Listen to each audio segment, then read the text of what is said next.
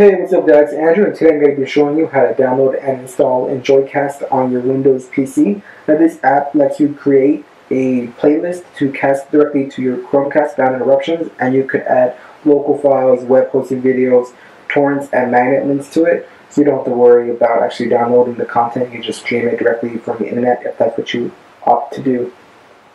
So to get started, you actually going to want to go to their website, enjoycast.tv, and then hit the button download the app.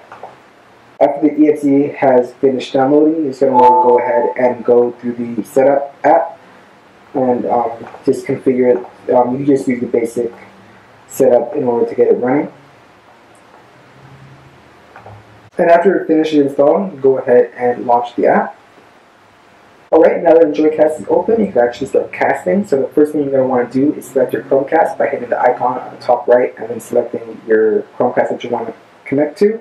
To add a local file, you're going to add, click the icon on the bottom left. Next to that is the magnet link, so you go ahead and copy and paste that over. Next to that is adding video URLs. So this thing I'm going to add a YouTube URL, and I'll just go ahead and scan that and pick up any videos that are on it. I already have, uh, you see here that I picked up a YouTube video, so go ahead and add that. And next to that is a search icon that will actually search for um, active streams on other websites and cast them that way. This has kind of been a hit or miss for me so far. Sometimes it'll pick up a video, sometimes it won't. It just depends on the website that it's streaming from. So after you have your playlist generated, you go ahead and hit the play icon, and then it'll, it'll start directly casting to your TV. Alright guys, that'll do it for the EnjoyCast. Be sure to like, comment, and subscribe, and I'll see you next time.